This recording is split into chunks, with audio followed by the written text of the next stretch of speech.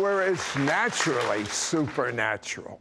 My guest was taken to a library in heaven and directed to one book that had the missing ingredient that activates all the other gifts to greater glory heights.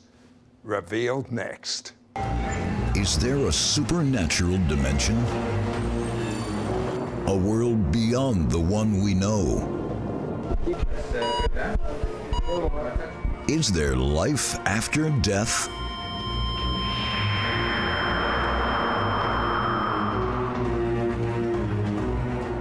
Can our dreams contain messages from heaven?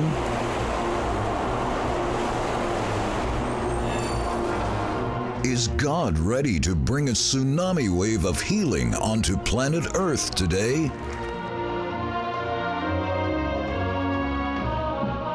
Sid for this edition of It's Supernatural.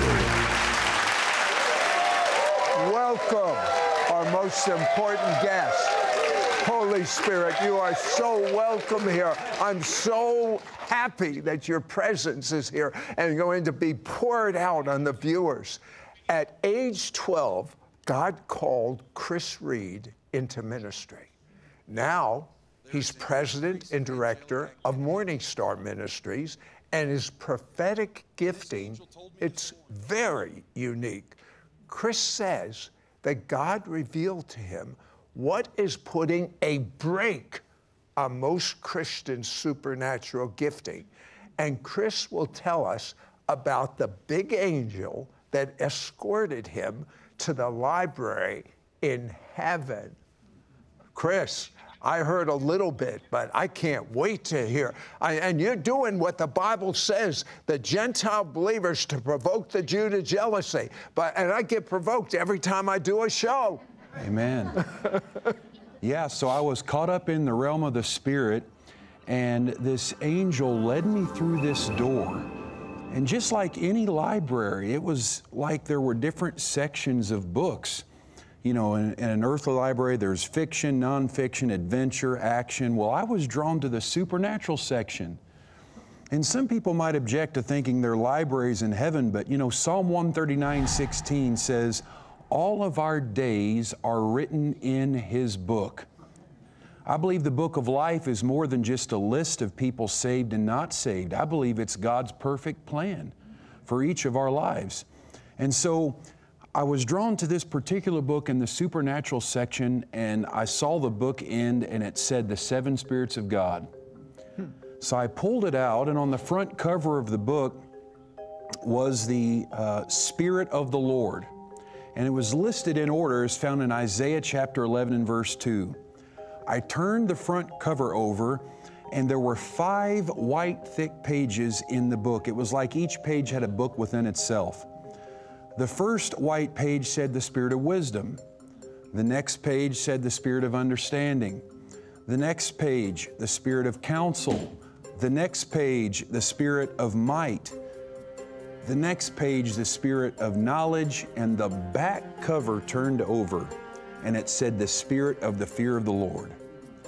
And I noticed when this happened, as I looked up, I looked down, and the back binding of the book had been torn off, which had written on it the spirit of the fear of the Lord. And the angel of the Lord said to me, He said, Do you realize what you are seeing?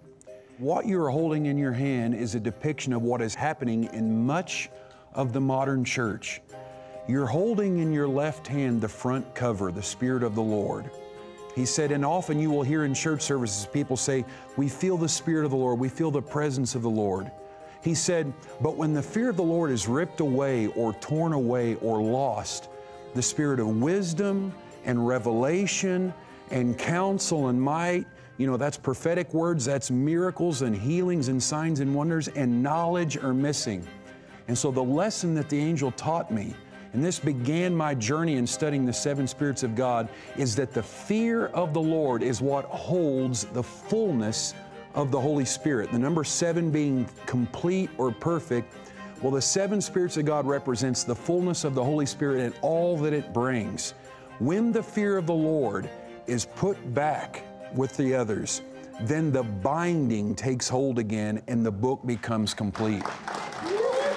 You know, that is the missing ingredient in the church today. And guess what? The greater glory that is coming, that's the first way you'll know the greater glory is here. People, without even hearing an evangelist, when the presence pours in, will fall on their face repenting because God has drawn so close to them. Now, the early church turned the world upside down. Why? Well, Acts chapter 5 gives us a real beautiful depiction about what happens in the church when the fear of the Lord is restored. You know, the story of Ananias and Sapphira, it's kind of hard to talk about it. You know, here you have two disciples, two believers who were just dishonest about their giving. And so they both die. The husband and the wife, Ananias and Sapphira, die. And you know, many people look at that and they might think, I haven't seen anybody fall over dead. Of course, we don't want that. I haven't seen something like that happen. Well, the Lord showed me when there is an increase of His power, like they had in the early book of Acts, it comes with a corresponding level of His jealousy.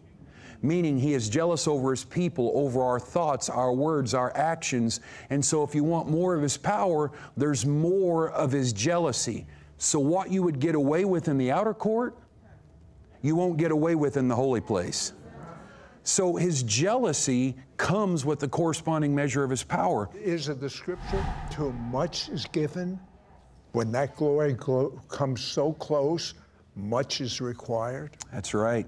So in Acts chapter 5, verse 11, after the Ananias and Sapphira event, it says, And great fear came upon the church and all who heard these things. And then the next three verses, verses 12 through 15 of Acts chapter 5, it tells us what follows when the fear of the Lord is brought back, or it is the binding of the fullness of the Holy Spirit activity in the church. It says in verse 12, Great signs and wonders were done by the hands of the apostles. It said, second thing, they were all with one accord in, in, in Solomon's porch. That's unity in the body of Christ.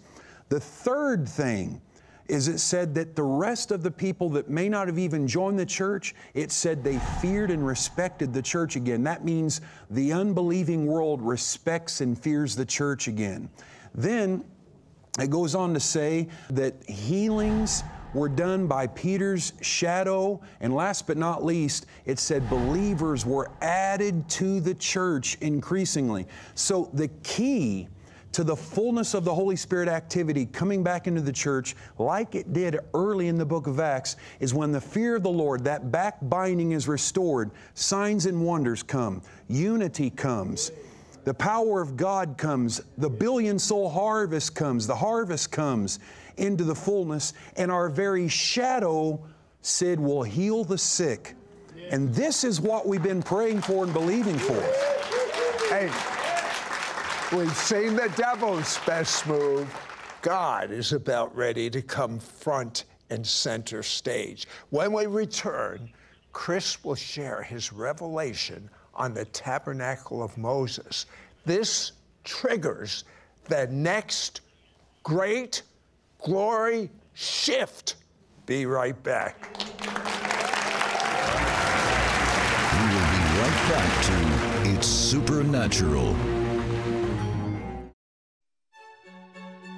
For he himself is our peace. who has made both Jew and Gentile into one. and broke down the barrier of the dividing wall. His purpose was to create in himself to create in himself His purpose was to create one new man. One new man. One new man. Один новый человек. Adam Hadash Echad. one new man. Many viewers report testimonies as a result of watching It's Supernatural. My tonsils were larger than average, and I had tonsillitis several times a year. I was hospitalized twice with quinsy, which meant having my tonsils drained with a needle and a two day hospital stay. As it was affecting my job, I agreed to have an operation to have them removed.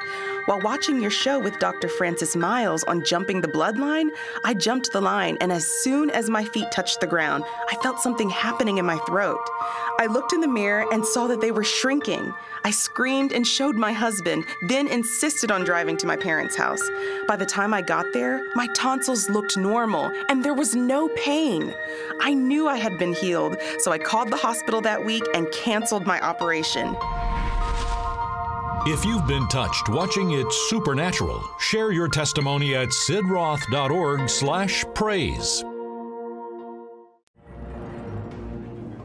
We now return to It's Supernatural.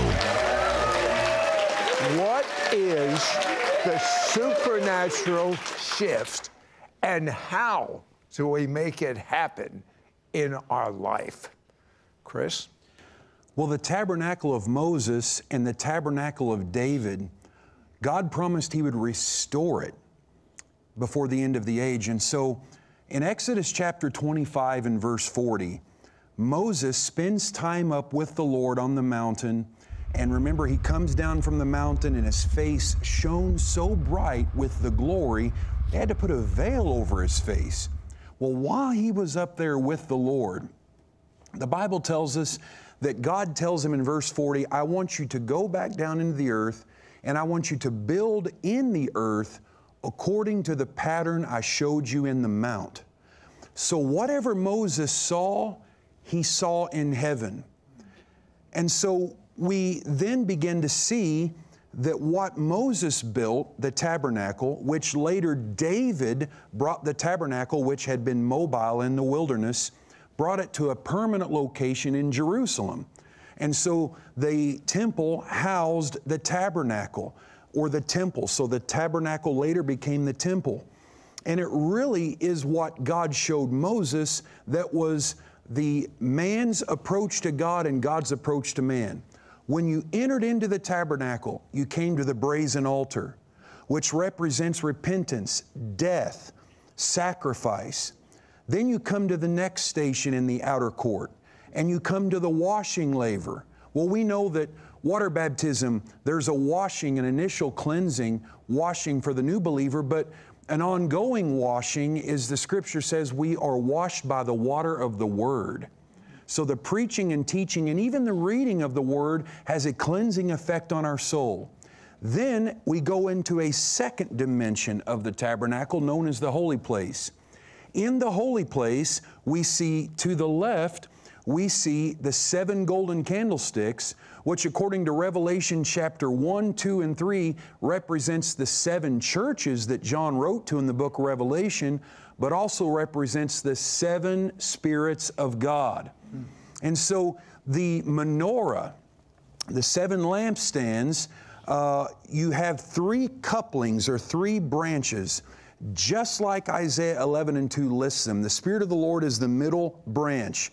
Then you have the Spirit of wisdom and understanding, the Spirit of counsel and might, the Spirit of knowledge and the fear of the Lord. So the same branch where the oil that fuels the Spirit of wisdom fuels the Spirit of revelation. The same oil that fuels the Spirit of counsel fuels might, signs, wonders, and miracles. The same branch that fuels the knowledge fear of the Lord. And it produces light so the priest can go on the opposite end of the holy place and feed from the showbread. We know that that was a type and shadow of Jesus who said, I am that bread which came down from heaven. So the seven golden candlesticks or the seven spirits of God produce light or illumination so that we know how to feed from the life of Christ.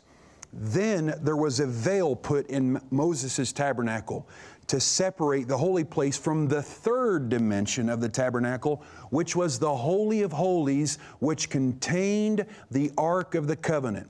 The Ark of the Covenant had a mercy seat. It had cherubims, golden cherubims up over it. And inside of the ark contained Aaron's budding rod, which symbolized the miraculous, contained the manna, which symbolized God's provision, and the law, which contains God's nature we know that when Jesus died on the cross, when Yeshua died, the veil was torn. But we know that earthly tabernacle was a picture of the heavenly tabernacle that Moses saw in Exodus 25 40. So he built it in the earth. It's the same thing, Sid, that Isaiah saw in Isaiah 6, chapter 6, verse 1. He said, In the year that King Uzziah died, I saw the Lord sitting on a throne, high and lifted up, and his train filled the temple. And then he asked for one of the angels, Isaiah did, to bring a coal from off the altar. What altar? The altar in the temple. So the temple of the Old Covenant was a picture, a type and shadow of the reality of the heavenly tabernacle or the heavenly temple that John, now this is this is key. John was caught up in Revelation chapter 4 and he's standing before the throne of God and he is literally seeing the heavenly holy of holies because God is sitting on a throne okay? And you have the 24 elders, you have the angels. John had access to the throne room. And it says in Revelation 1, verse 12, he said, I turned and looked behind me, and I saw one like the Son of Man standing in the midst of the seven golden candlesticks. Well, how is it that the seven golden candlesticks are right in front of the throne of God?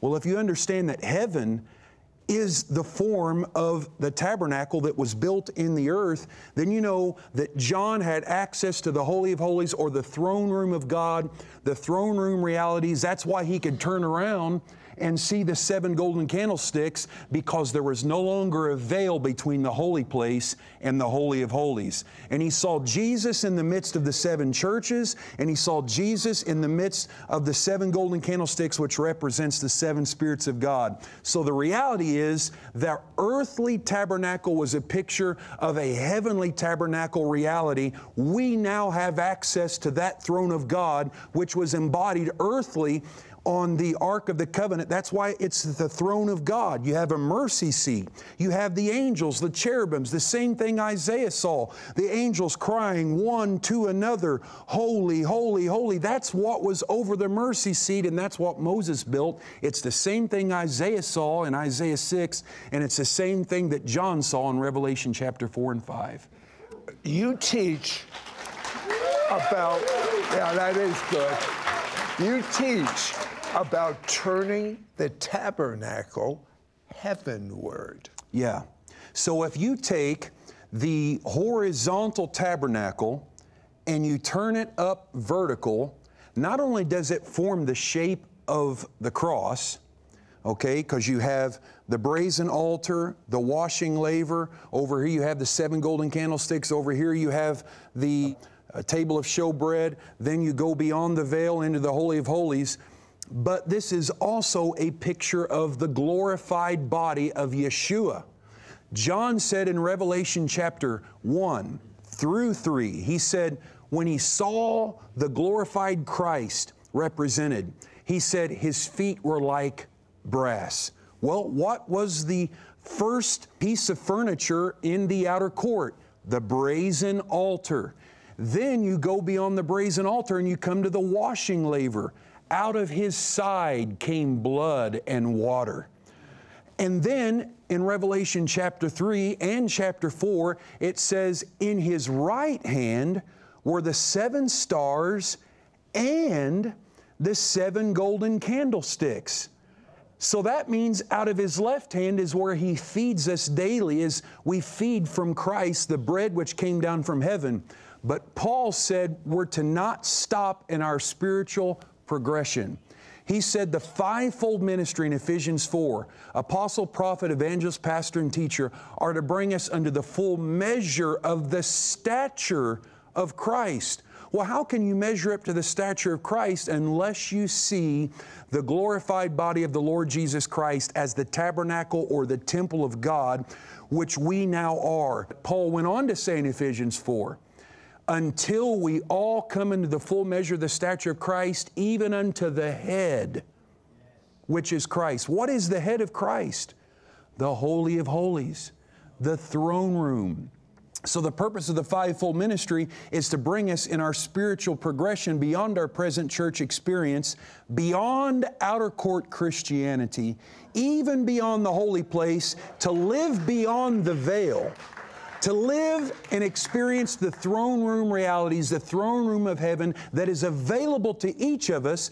As the Hebrew writer said, therefore let us come boldly before the throne of grace that we may obtain mercy and find grace to help in the time of need. So God is calling His people, Sid, into the throne room. And when we come into the head, which is Christ, the full measure of the stature of Christ, we'll receive the mind of Christ, the power of Christ, the communion of Christ, and we will abide beyond the veil.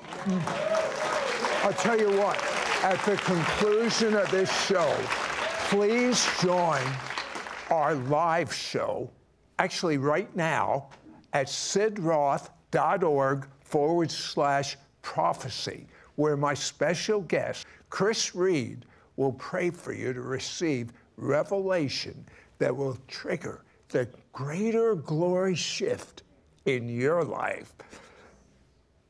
If you have not made Jesus your Messiah and Lord, with your mouth say, Jesus I'm sorry. Forgive me of all my sins. Come and live inside of me. I make you my Messiah, Messiah and my Lord. Chris, will you pray for people right now? Father, I pray for every person watching right now that they will become aware that the throne room of heaven is available to them. Father, release every person in the fullness of their destiny. Let them peer beyond the veil and see what's written in that book that where all their days were written when there were none of them fashioned. Let them feed from Christ and let the fullness of the Holy Spirit, the seven spirits of God, not just live in them, but rest on them as they come into their greater glory in the matchless name of Yeshua the Messiah. Amen. God's going to heal a few people right now, Chris. Pray right now, one minute. Father, right now, there's a man that is watching whose name is Steve. He had cancer in the past, but now he has concerns and symptoms in his body that the cancer is coming back. But I declare, Steve, the cancer will not come in the name of the Lord Jesus, Yeshua the Messiah. You are cancer free. There's a woman named Brenda 12 years ago, you were in a car accident and you've had hip problems from the whiplash, and now they're saying that you might need a hip replacement. Healing warmth is coming through your body right now. As the glory of God comes to you, you're receiving healing. By His stripes, you are healed. By the powerful name that is above every name, receive it now in the name of Yeshua. Amen.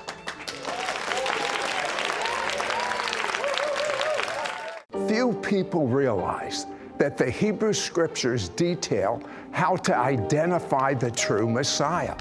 The Jewish prophet Jeremiah spoke of a new covenant that would do three things the Mosaic covenant could not do. First, the scriptures would be inside of us. Second, we would know God personally, experientially. Third, God would atone for and then forget our sins forever.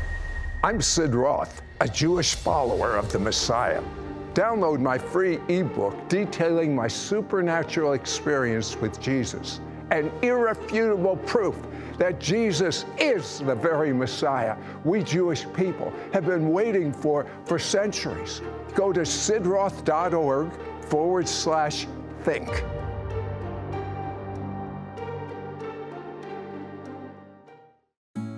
The supernatural of God knows no bounds. And now there are no limits to equipping you to receive your supernatural miracle anytime, any place. ISN, the It's Supernatural online network, is now available for your mobile devices and smart TVs. The message of the Bible has not changed, but it's a 21st century world out there. And how we learn about God's miraculous direction for our lives has changed.